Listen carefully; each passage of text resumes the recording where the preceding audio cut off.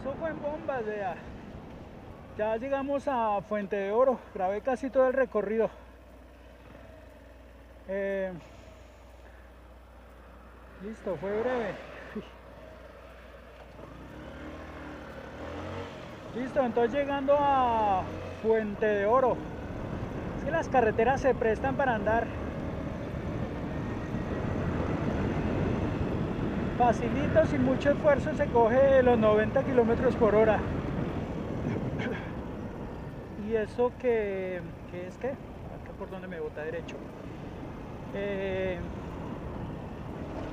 eh, sin mucho esfuerzo, cuando cuando vengo así, digamos, eh, que la traigo normalito, como siempre la ando, no me gusta andar así a grandes velocidades, sin excederme. Ya cuando me doy cuenta voy en 90. Sea, si la quiero subir a 100, a 110, sube, la subo. Pero para que ya con 90 está bien. Hola, hijo de madre.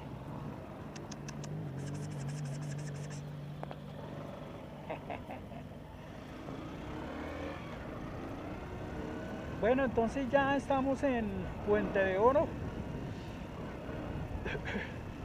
A ver por qué calle estamos entrando. Uy, se me viene ese animal.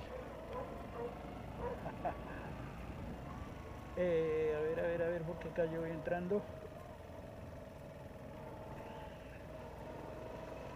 Carrera 14, con calle 16. Pues no me gusta que me llueva porque no es igual. No es igual hacer el recorrido con un solecito bien bacano. Eh, se me moja la cámara, se me moja el GPS, me toca escampar, comienzo a perder tiempo. Entonces, eh, y el último viaje a norte de Santander sí que me fue mal con esto de la lluvia porque fueron dos días seguidos de, de lluvia donde me tocó meterme a la lluvia para poder hacer el recorrido. Eh,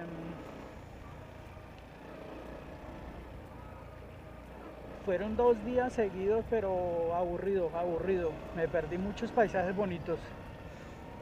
Eh, y, y, es también eso, se pierde uno muchos paisajes porque todo nublado, los abismos de, la neblina tapa todos los abismos, los paisajes. Entonces no es lo mismo.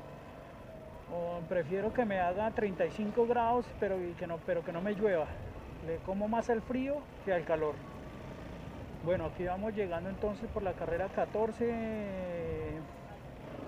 Vamos a ver dónde me bota la banderita del GPS. 14, la siguiente la calle 12.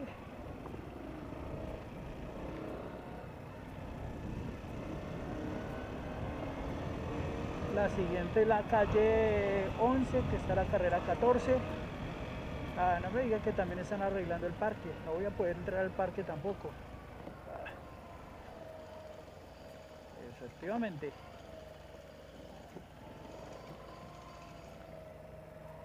Efectivamente.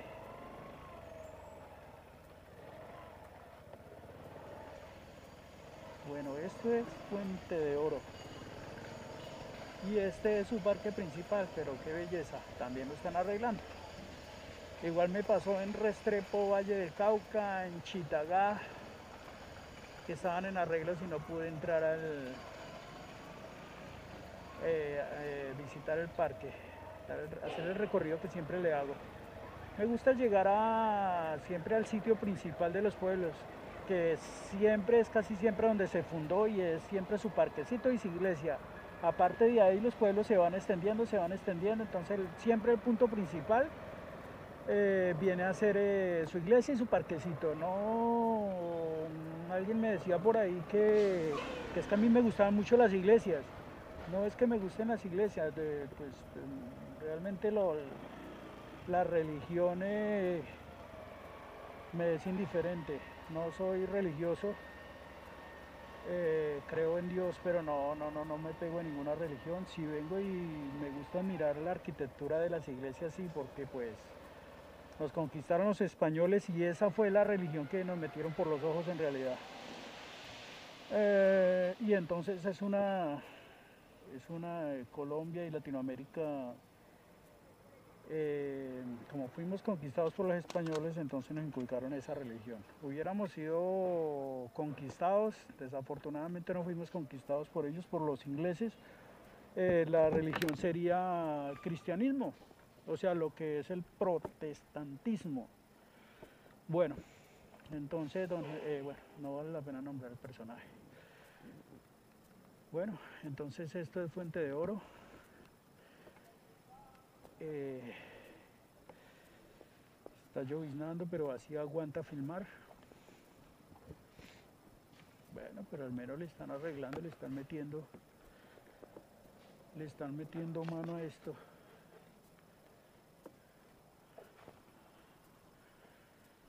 Bueno, vamos a tomar alguna fotico aquí, pues como para tener una una idea. Voy a ir hasta allí, hasta el,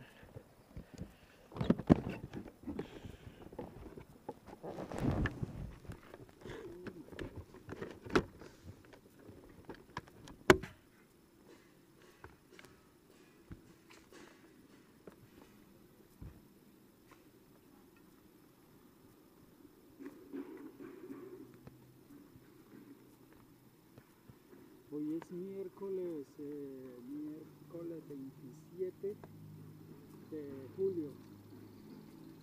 De esto es.